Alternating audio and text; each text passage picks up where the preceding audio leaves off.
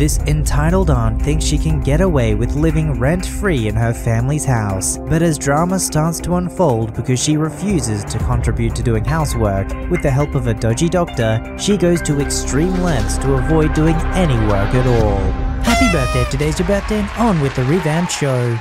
Flashback to the year 2000 and X. June. A beautiful day. Sunny, slightly below average temperature for that time of year. A nice breeze that kept us cool while we were all crammed together on school's football field. Perfect conditions for my high school's commencement exercises, aka graduation. The family members were seated. The music started. We high school seniors began the march to our seats. We sat, speeches, applause, corny dad jokes from our principal. Then the important part, the diplomas. We were called up one by one in alphabetical order. My maiden name began with a B, so my turn to walk the stage and receive my diploma came relatively quickly. Applause, most likely only from my parents and aunt, and maybe a few claps from the families of a few friends. My family had moved, so I had actually transferred into this school nearly in the middle of my senior year and didn't have much of an established presence. I returned to my seat and happily watched my friends and classmates have their own moments. Sometime later, the final student's names was called. We turned our tassels. Another speech from the principal admonishing us to remember that we were now adults and needed to act responsibly. Wished us the best of luck in our futures. I'm assuming that was the gist of the final speech. Totally didn't pay attention. Typical teenage attitude, yada yada yada. Finally, we were officially dismissed for the last time. We all cheered, caps were tossed. It was an amazing moment, totally like what you see on young adult television shows and tween movies. After getting quick hugs and congratulations from my best friend's parents, I excused myself and went to look for my parents and aunt. I looked all over the field, in the parking lot, and everywhere in between. No beaming mother, no proud father, no aunt to smile and be happy for me. They were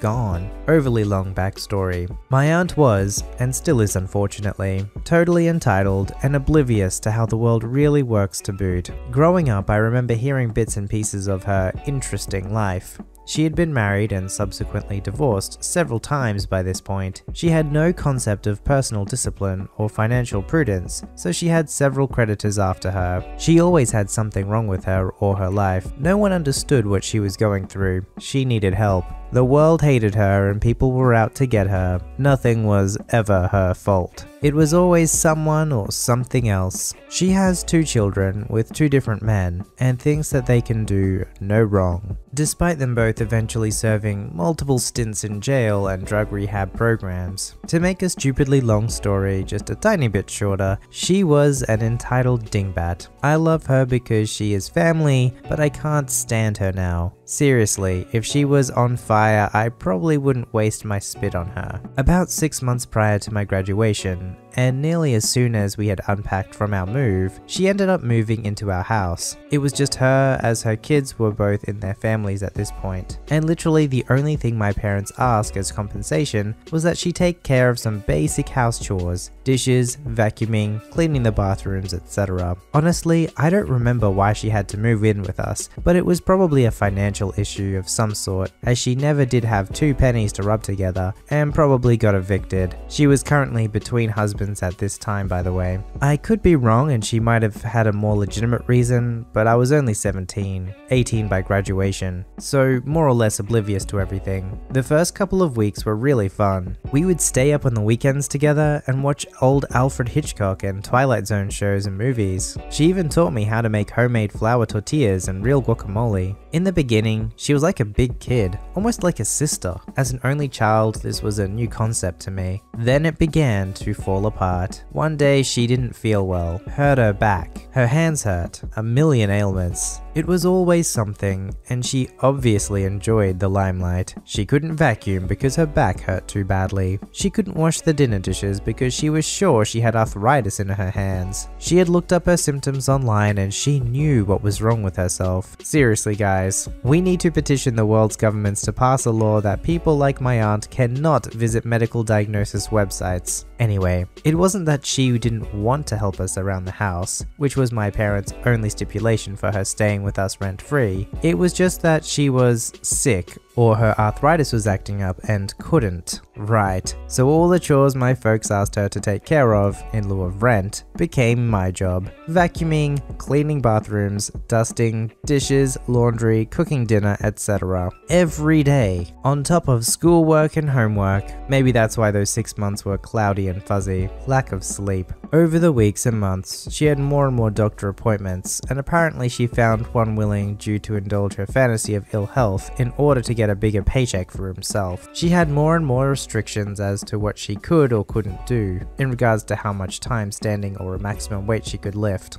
Her doctor began prescribing her crazy amounts of pills to take for the pain, her anxiety, and goodness knows what else. Now, on top of her issues, she began calling herself disabled and began demanding that we three, mum, dad, and me, do things for her that she was perfectly capable of doing just a couple of days or weeks before. She needed help making her bed, making her breakfast, etc. She had no job. She would sleep until a crazy late hour in the afternoon, come downstairs to the main family television, demand that she watch her shows, do practically nothing the rest of the day besides watch TV and eat. She never seemed to have trouble waddling, without struggle or pain I might add, between the fridge in the kitchen and the living room couch, balancing snacks and sodas, then be back in bed by 9pm or so, of course demanding silence as she needed to rest to feel better. She had no hobbies, no friends, no household contributions, no discipline, no motivation. My home life was now playing out exactly like my own ridiculously tacky soap opera starring Cinderella or something, because there was always some kind of drama. My aunt having XYZ problems, my parents exasperated but never standing up for themselves in their own home, and me playing the role of some sort of whipping boy girl. My folks began catering to my auntie's every demand in order to, in their own words, keep the peace. All of my aunt's chores fell to me to complete on top of schoolwork and homework.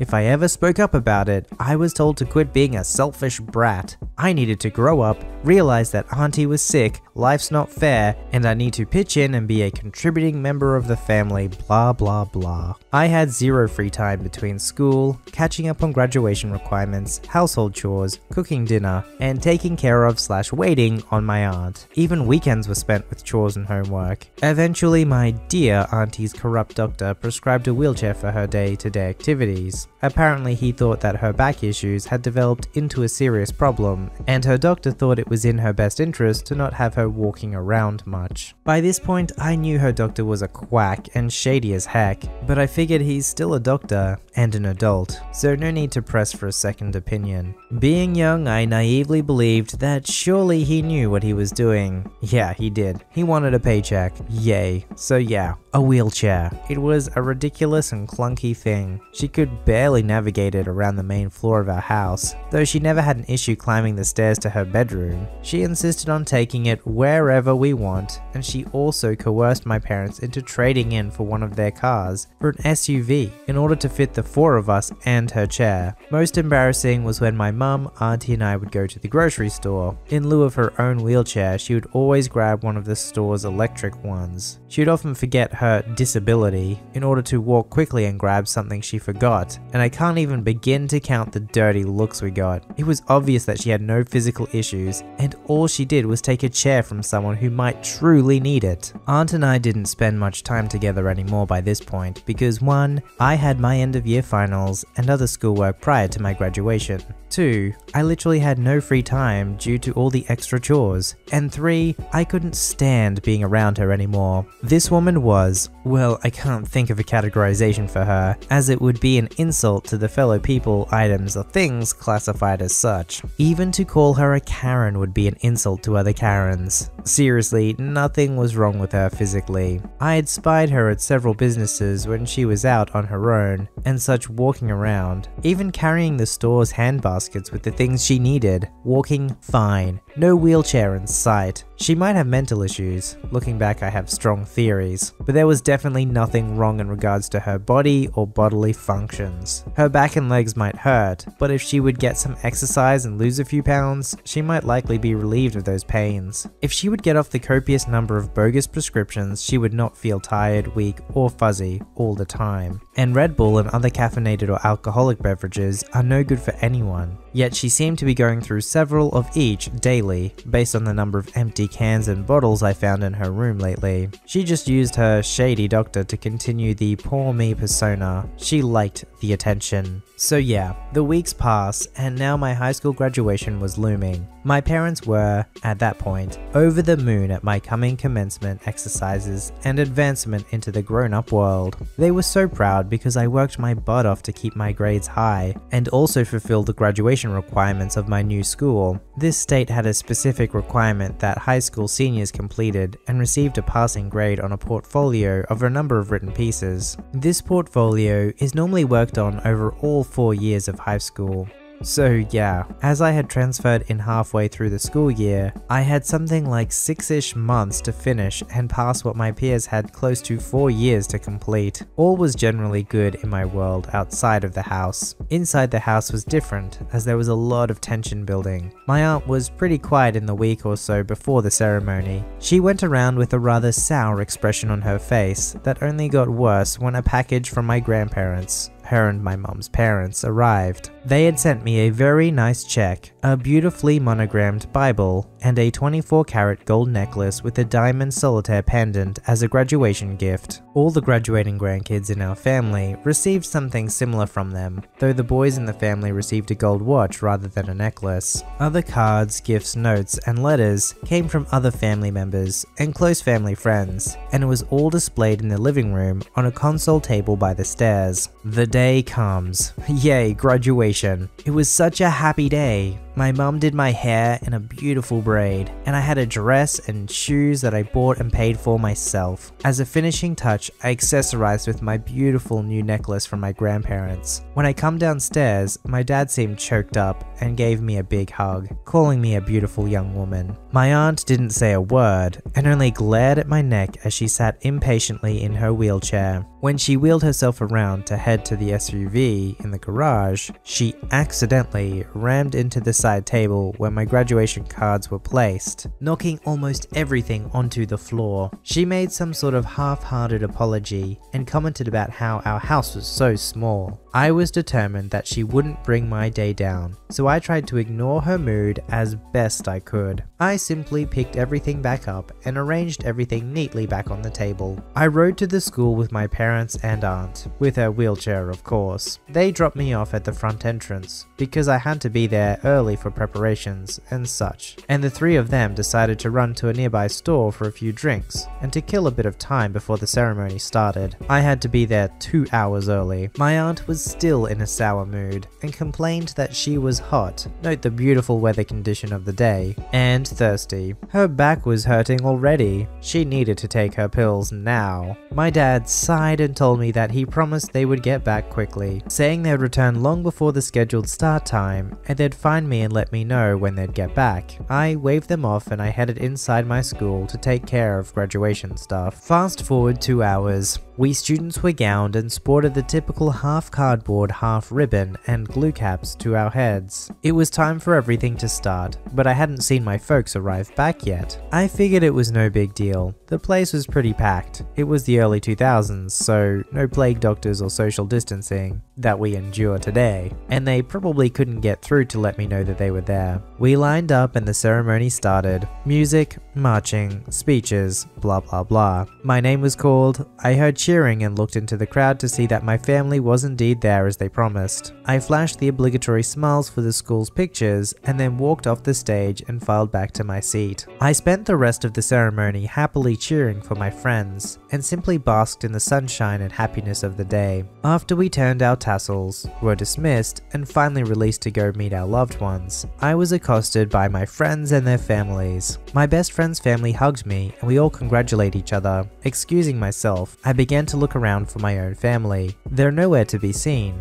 I looked everywhere but I couldn't find any of them. My happy little bubble burst. The happy day suddenly disappeared and I was left with a sick feeling in my chest. Not only were my parents and aunt not there, but I had no way to get home. There was no way I could have walked home as we lived miles away in suburbia. Plus heels. Girls, I know you'll understand. All I could do was just stand there in the rapidly emptying parking lot, alone and crying, wearing my graduation gown and my cap in my hand. Alright, that was part one of this epically long entitled parent story. I think the longest I've ever read on the channel. And if you thought this entitled aunt faking a sickness as if she's in a wheelchair was bad, just wait till you see what happens tomorrow. Okay, seriously, who thinks it's a good idea to start pretending as if you're a disabled person just so you can get out of doing house chores? And I don't know how that doctor is still licensed. Perhaps he isn't. Sometimes you do hear these stories where it's like some bad thing happens, it's like this doctor was practicing, but he wasn't actually licensed. How did they get away with it? Alright, I'll see you guys tomorrow with part 2. Stay tuned.